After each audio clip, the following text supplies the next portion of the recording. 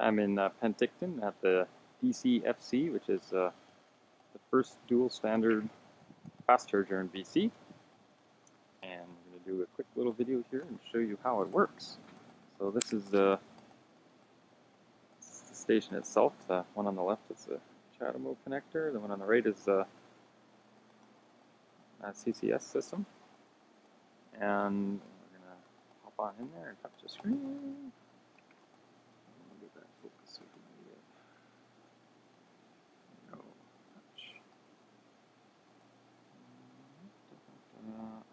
Also going to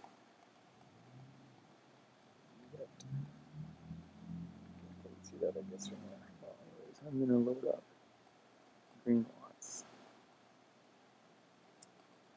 because if you some of these stations you don't need. Oopsies, probably didn't see that, but basically. Once you've got this app on your phone and you have signed in, you can go to any of the stations and just scan the QR code. It's right there, the scan. And boom, it pops up. And uh,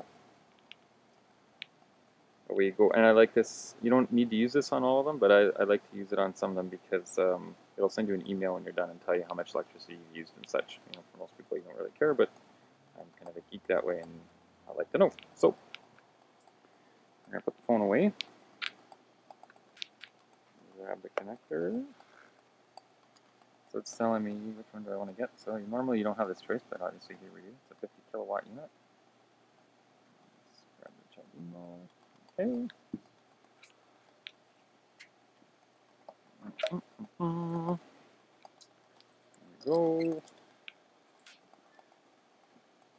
Fast charger is the black one on my Leaf.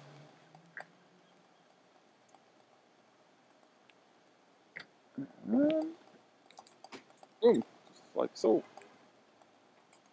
That's the new style CHAdeMO connector. So, is a lot easier than the older ones. There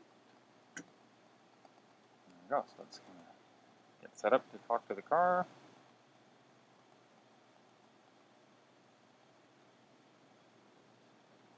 About to pump an awful lot of electrons really fast. So, well, that's interesting. So my car reported 16%, and this thing's reporting 15%. And it's saying it's going to charge the car for about 38 minutes.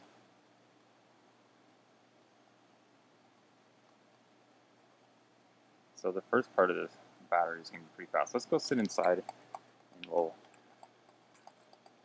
won't turn the car on, but we'll essentially put it in accessory mode.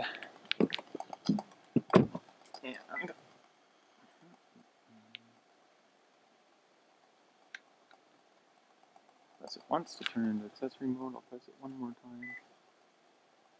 To Get this far. What I'm going to do is set the camera here.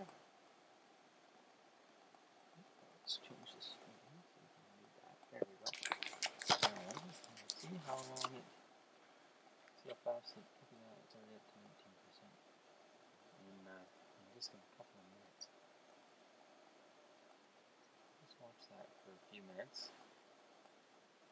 And uh, see how quick it goes and see what the battery paper looks like.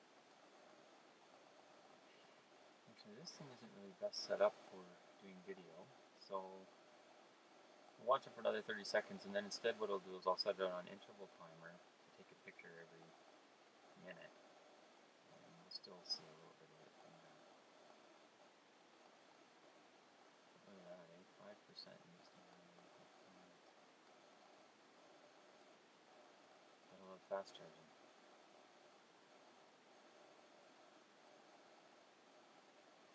As an aside, my battery was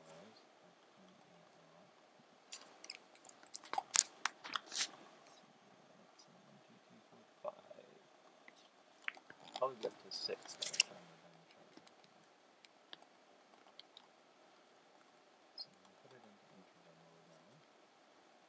back in later. For the first while I was filming it obviously and now I switched to interval shots every 20 seconds Um, the very beginning of the of the shot we were watching, it was approximately 40 kilowatts. When we were watching the movie there. Um, the interval shots that you're seeing right now on your screen uh, are this section, and uh, the power was around 32 kilowatts. I elected to film the percentages on my uh, car screen, so you didn't. Um, you know, it's uh, it's not perfect, but so I've graphed percentage versus uh, charging time here and pulled the timestamp from everything.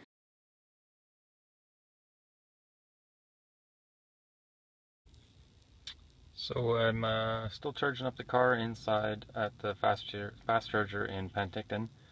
I drove here from Kelowna with my bike on the back at regular traffic speeds, so you know doing the speed limit plus five, and uh, with my bike on the outside on the back.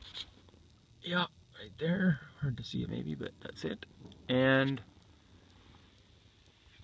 total consumption was pretty good. And because I was coming to the fast charger, I really didn't care about whether I used an extra percent or two. Because if you watch this for a minute, you will see that I'm picking up range very fast. Here, we've been watching for 15 seconds, and I've picked up a kilometer of range already.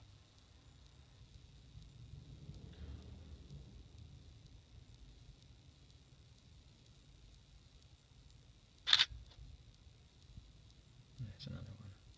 And another 15 seconds. So, I'm doing a time interval shot with my camera, which I'll paste into a video later. It's taking a shot every 20 seconds. And I want to try and capture the tapering effect. When the charge rate starts to slow down as the battery capacity gets higher. So when we were just watching, we were at the 60% mark. We're now we're now watching it go up uh, through the 80s and into the 90s, and you can see that very clearly there is a there is a taper point that starts pretty distinctly around the perhaps the 80% level, and then uh, and then starts to flatten out even further towards 90%. So um, yeah, so I think it illustrated it fairly well. The other thing I just want to point out is the, the reason there's these uh, they look kind of like a bit like a step uh, occasionally because um, because I was taking time interval shots every 20 seconds. So I didn't know the exact timestamp that it had flipped from one percent to another. So that's why it looks like a bit of a step in some spots. So it's not that it didn't actually gain any charge here. It was gaining charge. It just didn't look any different from one shot to the next. So that's why the graph showed up like this. But the best fit, once you can see, shows that it's uh, it was approximately 15 kilowatts in this range and slowed down to about 10 kilowatts Okay, so the charger just kicked off automatically. It um, it does that after I don't know. I mean, the charger talks to the battery and sorts it out when it's best to stop. And uh, and it stopped at 93%. Normally it would stop lower than that, but uh, my battery is degraded somewhat, so 93% for me is kind of like I don't know high 80s for somebody with a brand new car. And um, as I thought. We picked up one battery bar, so we're now at six battery bars. So we'll just pop back outside and, uh, oh yeah, and it's been, it's been um, about half an hour since I plugged it in. So we went from 16% to 93% for me, uh, which is pretty good. In half an hour, I think. Much faster than anything else I use on a regular basis, that's for sure. So here we are, back to the connector. It, the little red light is gone. So that means I can unplug it from the car now. So on this uh, new CHAdeMO connector, all you do is slide the uh, slide this guy all the way forward and pull.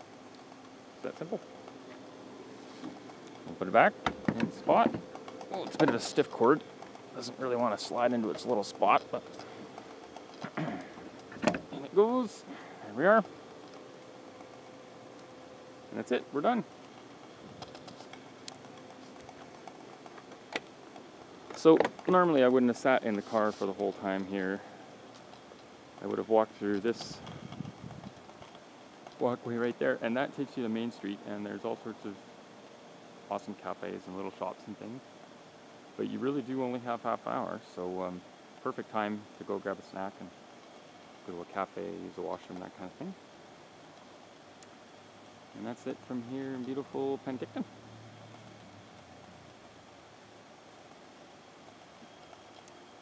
Nice fall colors.